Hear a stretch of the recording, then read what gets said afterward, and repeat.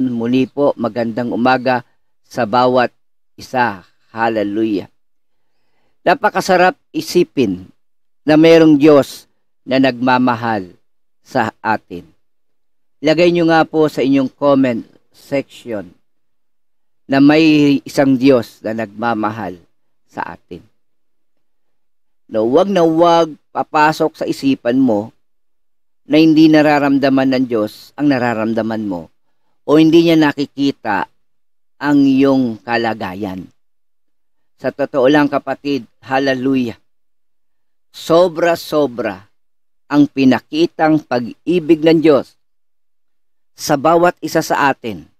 Hindi ito naganap nung panahong, panahong tayo ay nagtatapat, nung panahon na tayo ay mabubuti. Ginawa ito ng Panginoon nung ta- panahon na tayo ay gumagawa pa ng kasalanan. Ang kanyang relasyon sa atin ay biyaya, hindi dahil sa ating mga gawa. Sapagkat pinili ng Diyos na tayo ay patawarin, iligtas at patuloy na kumilos sa ating buhay. Lahat ng ating nararanasang tagumpay, lahat ng mga kasagutan sa ating mga panalangin, ang pagkilos ng Diyos sa ating pagsamba at pagpupuri, ang kanyang mga kamay na gumagabay sa atin at tumutubog, tumutugon sa lahat ng ating mga pangangailangan. Lahat ng yan ay naganap dahil sa sakripisyo ng ating Panginoong Heso Kristo. The Lord gave us unlimited benefits by trusting Him, by believing in Him, by being our Lord and Savior. God is showering us with all the kind of spiritual blessing. Pero lahat ng bagay na yan na ating tinatamasa ngayon sa bawat tagumpay at kagalingan, kapatid, ito ay dahil sa ginawa ng ating Panginoong Yeso Kristo. Sabi ng verse 1, sagot ng mga tao, sino ang maniniwala sa binabalita naming ito? Sino makapagpapatunay na pinahintulutan ito ni Yahweh? Ang sabi ng verse 2, kalooban ni Yahweh na ang kanyang lingkod, ang Panginoong Kristo ay matulad sa isang halamang natanim sa tuyong lupa. Walang katangian o kagandahang makatawag pansin. Wala siyang taglay na pangakit para lapitan siya. Alam niyo, nakakalungkot isipin na ang mundong ito ay nakatingin sa panlabas na anyo, sa, sa kagandahan, sa kakisigan, sa kayamanan, sa mga mga liwanag ng karangyaan, no? ng kayamanan at katanyagan. Nakakalungkot. Sabi nga, ang Panginoon Yeso Kristo nang siya'y nagkatawan tao. Sabi dito, wala, wala ngang katangian o kaganda makatawag pansin. No, ibig sabihin, wala siyang personality that will get our attention. O yung kayamanan na kumikinang. O yung ano pa mambagay. At hindi mo nga ma, ma, pipi, mapipili ang Panginoon para pansinin. No? Alam nyo, kung minsan pag naglalakad tayo at may, na, may mga bagay tayong ayaw natin makita, pinipilit nating iwasan ang bagay na yon. Hindi natin tinitingnan. Kahit nakikita natin, hindi natin pinagmamasdan na maigi. So, kapatid, ito ang larawan ng ating Panginoon Kristo nang siya ay nagkatawang tao. But sabi nga natin kapatid, ginawa niya ang lahat ng yon upang maganap ang kalooban ng Diyos. He was despised and rejected by mankind. A man of suffering and familiar with pain. Like one from whom people hide their faces, he was despised. And we held him in low esteem. Hinamak siya ng mga tao at itinakwil. Nagdana siya ng sakit at hirap. Wala man lang nagtapo ng sulyap sa kanya. Hindi natin siya pinansin para siyang walang kabuluhan. Hallelujah. Kaya kapatid, hallelujah, mapalad tayo na nakilala natin siya. Mapalad ka kapatid na minahal mo siya. Mapalad ka kapatid na kinilala mo ang Panginoon. At ngayon nabubuhay ka, hindi para sa sarili mo, kundi para kay Kristo. Pakilagay nga po dyan sa inyong comment section. Ako'y nabubuhay para kay Kristo. Nabubuhay na tayo ngayon hindi para sa sarili natin, kundi para sa kalooban ng Diyos. Kalooban niyang magtagumpay tayo, kalooban niyang managana tayo, kalooban niya na maging kasiyasiya ang buhay natin. Hallelujah. Purihin ng Panginoon sa katotohanan na yan. Pero ano ba ang ginawa ng lingkod ng Diyos? Ano ba ang ginawa ng Panginoon dito sa lupa? Hindi siya bumaba ng walang dahilan. Hindi siya nagkatawan tao ng walang layunin. Alam natin ang lahat ng ginawa niya ay para sa ating kapakanan. Upang tayo na walang pagkakataong maligtas o napaka-imposibleng makaranas ng kaligtasan ay magkaranas ng kanyang pag-ibig at ng kanyang katubusan mula sa mga kasalanan. Ang sabi ng banal na kasulatan, surely he took up our pain and bore our suffering. Yet we considered him punished by God, stricken by him, and afflicted.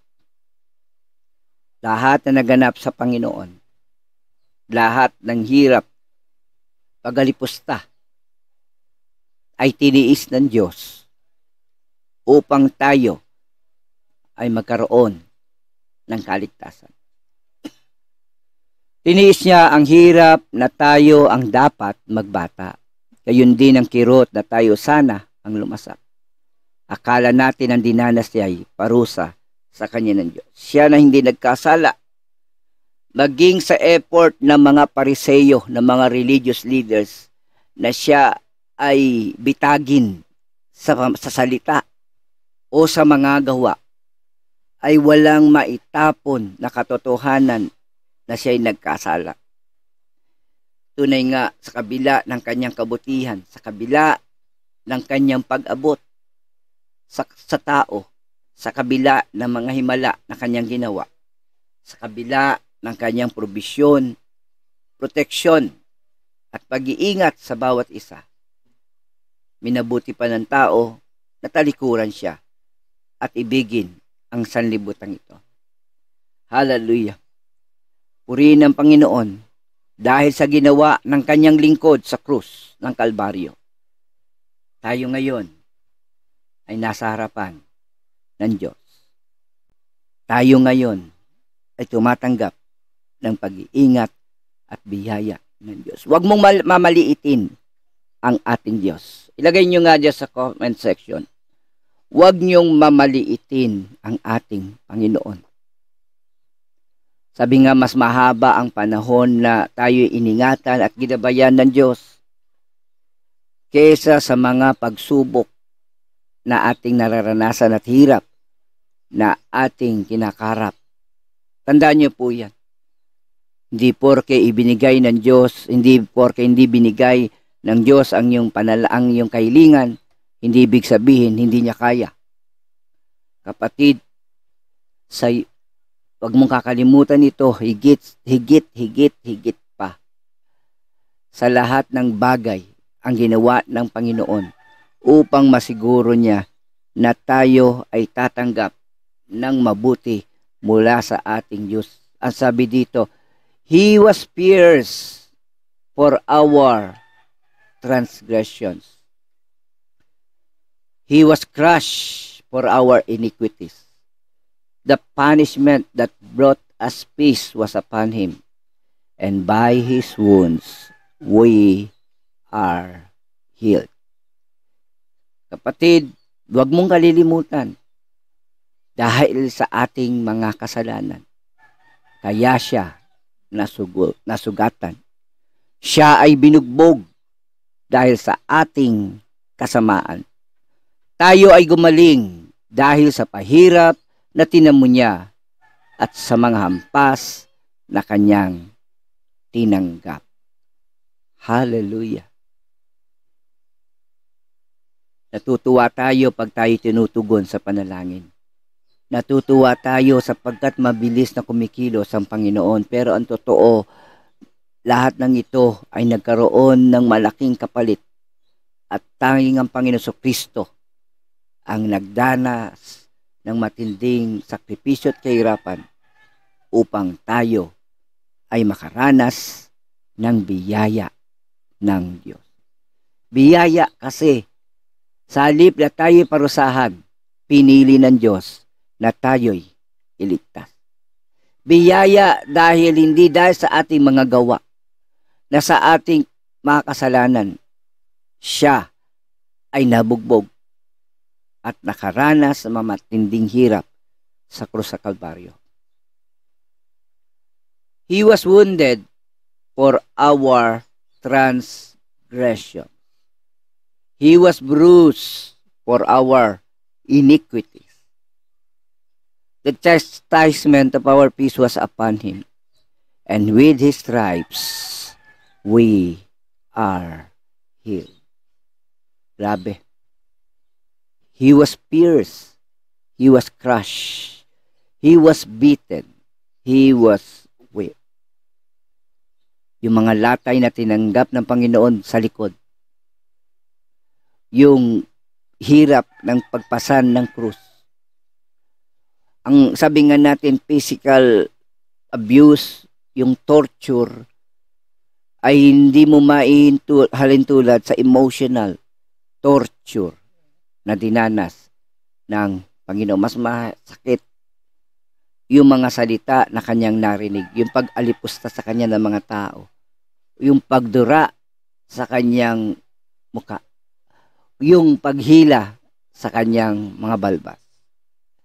Na kung saan yung mga tao na mas pinili pa sa kabila ng kanyang kabutihan, sa kabila ng kanyang pagpapagaling, sa kabila ng kanyang pag-iingat, pagpapakain sa mga tao, ay pinili pa ng tao na isigaw na siya ay ipako sa krus.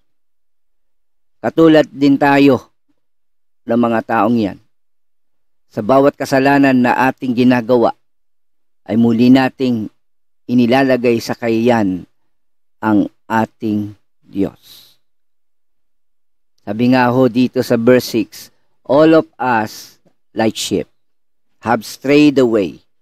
We have left God's paths to follow our own. Yet the Lord laid on him the sins of us all.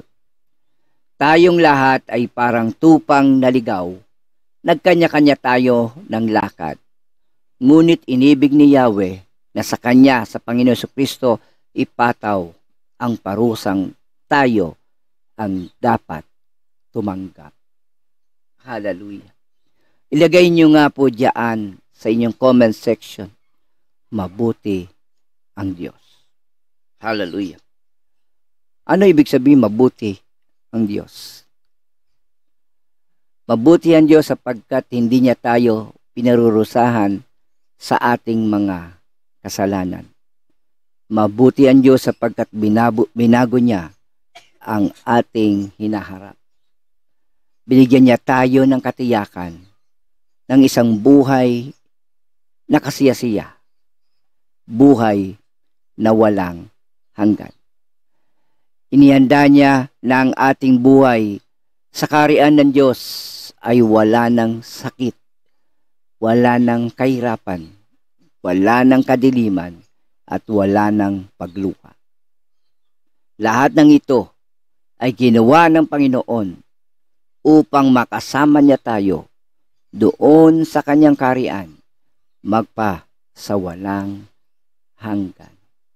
Ang Diyos ay mabuti. Hallelujah. No? Paulit-ulit. Huwag na huwag niyong kakalimutan, sabi nga po ng awit, Restore unto me the joy of your salvation. Always remind us, Lord, of your saving power. Allow us to see what you have done mightily in our lives. How you have changed us. How you have transformed us to be your children. Thank you, Lord. Ang Diyos ay tunay na mabuti mabuti sa ating lahat. Verse 7, Siya ay binugbog at pinahirapan, ngunit di tumutol kahit kamuntiman. Alam niyo po ba mga kapatid kung siya ay tumawag sa kanya mga anghel sa langit, agad-agad itong mga anghel ay tutugon. Sa isang salita lamang ng Panginoon, ay kaya niyang gunawin ang mundong ito at pawiin ang lahat ng buhay. Taliwas mga kapatid na tayo ay hindi mabubuhay kung wala ang Diyos. Ang Diyos ay mananatiling Diyos ang Panginoon ay mananatiling Panginoon. Tayo ang hindi mabubuhay kahit isang segundo o minuto na wala ang ating Diyos. Hallelujah. Purihin ang Panginoon. Tiniis niya ang lahat. Lahat ng kahiyan. Lahat ng pag-alipusta. Pananakit sabi nga, tulad ay korderong hatid sa patayan. Parang mga tupang hindi tumututol kahit nagupitan, na hindi umimik kahit gaputok man. Yan ay nagawa ng Panginoon dahil sa kanyang pag-ibig. Hallelujah. Hallelujah. Hindi na natin kailangan pang panoorin yung pelikula nagpapakita ng matindi. Naniniwala ako higit pa doon ang dinanas ng Panginoon. Sabi nga ng mga naunang kabanata ng Isaiah, walang makapaniwala. Hindi na nga siya makilala, ang kanyang mukha hindi na makilala. Hindi na nga makita na siya ay tao. On that day when Jesus Christ was crucified, on the cross when the sin of all men was laid upon his shoulder. Siya yung pinaka-worst scenario. Siya yung isang isang nilalang na hindi kayang tingnan ng ating Ama dahil sa kasalanan. Siya na tunay nga na naging parang halimaw dahil sa mga latay at bugbog na kanyang tinamo.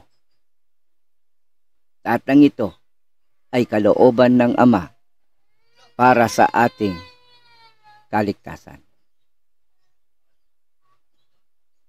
Hallelujah. Praise God. Praise the Lord. Verse 8, nang siya yulihin, hatulan, at dalhin sa dakong patayan, wala nang nangahas na ipagsanggalang wala man lang dumamay. Siya ay pinitay dahil sa sala ng sangka tauhan. Hallelujah. Praise the Lord. Ulitin natin ng siya at hulihin, hatulan, at dalhin sa dakong patayan, wala mang mga nangahas ay pagsanggalang. Wala man lang dumamay. Siya ay pinatay dahil sa sala ng sangka tauhan. Mga kapatid, bigyan nyo ito ng pansin. Huwag na huwag niyong kalilimutan. Hindi ko sila sabi na makonsensya tayo na sa kasalanan natin naghirap ang Panginoon. Hindi tayo inuu hindi tayo hindi tayo inuusig. Hindi tayo uh, hindi nais ng Panginoon na tayo ay pasakitan. Isaiah 53 verse 9 Siya'y inilibing nakasama ng masasama at mayayaman. Bagamat wala siyang kasalanan o nagsabi man ng kasinungalingan. Alam po natin mga kapatid na ang Panginoong ay naging tapat hanggang kamatayan. Siya na nagbibigay ng katarungan sa lahat ay nakaranas ng pinakamatinding kawalan ng katarungan naparusahan sa mga kasalanang hindi niya nagawa, pinahirapan, binugbog, at ang lahat ng ito ay kadooban ng Ama. Sabi dito, bagamat wala siyang kasalanan na nagsabi man ng kasinungalingan, siya ay nailibing kasama ng mga masasama at ng mayayaman. Pagkaraan ay katong araw, siya'y muling nabuhay. Purihin ang Panginoon. Siya ay tapat, siya ay banal. Wala siyang kasalanan o wala siyang ginawa para sa sarili niya maliban sa sumunod sa kalooban ng Ama. Hallelujah. Kaya alalahanin mo kapatid, kung ano man ang pagsubok na meron ka sa umagang ito, sa araw na ito, sa mga araw na darating, wag na wag mo isiping hindi ka mahal ng Diyos at hindi ka hindi ka iniingatan, hindi ka sinasamahan. Supposed to be, He is with us all the time. He is with our God. No? Tayong lahat ay kasama lagi ang Panginoon. Hallelujah. Isaiah 53 verse 10, sinabi ni Yahweh ang kanyang paghihirap ay kalooban ko. Ibig sabihin, itinulot ng Diyos ang naranasan ng ating Panginoong Yeso Kristo doon sa krus ng Kalbaryo. Itinulot ng Panginoon na sa Kanya ipatong lahat ng kasalanan ng sanlibutan. Ang sabi dito, kung tutuloy pa natin mga kapatid, inihandog niya ang sarili upang sa pamagitan noon ay magkaroon ng kapatawaran. Hindi pinilit ang Panginoon sa Kristo, ito'y ginawa niya bilang pagsunod sa kalooban ng Ama at upang tayong lahat ay makaranas ng kapatawaran ng ating Diyos. Ang katapatan ng ating Panginoon Kristo ang nagbigay sa atin ng pagkakataon na makalapit at magkaroon ng kabutihan na nagmumula sa ating Diyos. Ang siyang bumago sa ating mga buhay at nagbigay sa atin ng kapangyarihang maging anak ng Diyos. Sabi dito, dahil dito'y mabubuhay siya ng matagal, makikita ang lahing su- susunod sa kanya. At sa pamagitan niya'y may sasagawa ang aking panukala. Purihin ang Panginoon sa katotohanan ito. Dahil sa katapatan ng Panginoong Kristo, tayo ay dinidinig ng Ama.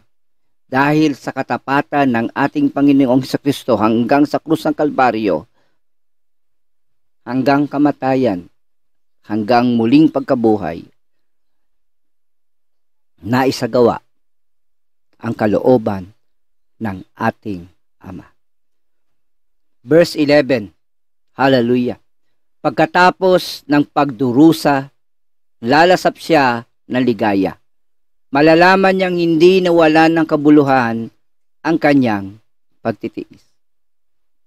Kaya nga ho mga kapatid, isang beses lamang po inialay ng Panginoong Kristo ang kanyang buhay doon sa krus. Isang beses lang siya na nagdanas ng hirap sa krus ng Kalbaryo. At sapat na ito upang tayo ay magkaroon ng kaligtasan. Ang akin tapat na lingkod at lubos kong kinalulugdan, ang siyang tatanggap sa parusa ng marami at alang-alang sa kanya, sila'y aking patatawarin. Kung gaano man kalayo ang kalura, kalungran sa silangan. Ganon inilalayo ng Diyos ang kasalanan mula sa atin. Hindi niya na ito alalahanin pa. Hallelujah. Sa katapatan ng Panginoong Kristo, tayong lahat ay nakatanggap ng kapatawaran mula sa ating Diyos Ama. Purihin ang Panginoon. At sabi ng verse 12, dahil dito Siya'y aking pararangalan, kasama ng mga dakila, pagkat kusang loob niyang ibinigay ang sarili at nilasap ang kaparusahan ng masasama. Inako niya ang mga makasalanan at idinalangin sila'y patawarin. Kapatid, hindi ito ginawa ng Panginoon ng tayo ay mga mamubuting tao pa. Na tayo ay gumagawa ng mga bagay na mga na may kabanalan. Kapatid, hindi dahil sa ating gawa, kaya tayo nakaranas ng kapatawaran. Ito ay dahil sa sakripisyo ng lingkod ng Diyos, ang ating Panginoong Kristo, na hanggang sa krus ng Kalbaryo, inako niya ang lahat para sa ating kapatawaran, sa ating katubusan, sa ating kaligtasan. Sa Diyos ang lahat ng karangalan kalwalatian, pagsamba at pasasalamat. Siya ang tunay na Diyos, ang ating Panginoon. Hallelujah. Sa Kanya lang natin ibalik ang lahat ng kapurihan at pasasalamat sa biyaya na ating tinatanggap at tinatamasa ngayon. Kapatid, huwag kang susuko, huwag kang manghihina, huwag kang bibitaw sapagkat ilang limon taon na nakakaraan, binayaran ng Panginoon ang lahat para sa kaligtasan ko, sa kaligtasan mo, at lahat ng kanyang mga pinili. Kapatid, hallelujah, Jesus paid it all. Ilagay niyo sa inyong comment section, Jesus paid it all. Everything is finished. It is done purihin ang Panginoon. Sa Kanya lamang ang papuri.